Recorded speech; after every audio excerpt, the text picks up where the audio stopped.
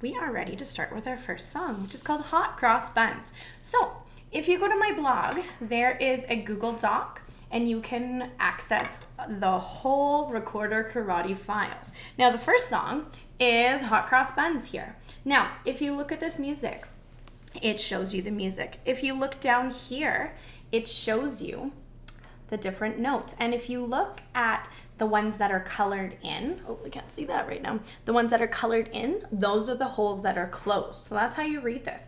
So today we're gonna be using B, A, G. Now, let me grab my recorder. You're going to close that back hole and you're gonna go B, A, G. All right, so I'm gonna put my music here.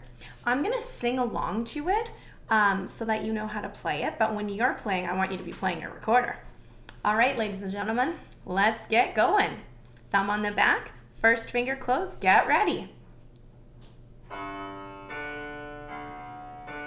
One, two, ready, go. B, A, G. Rest, rest. B,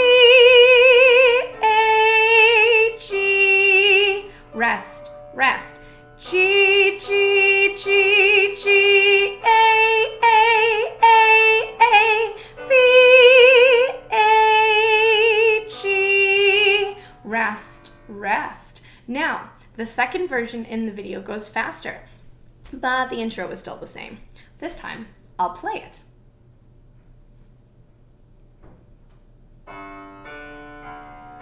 One, two, ready, go.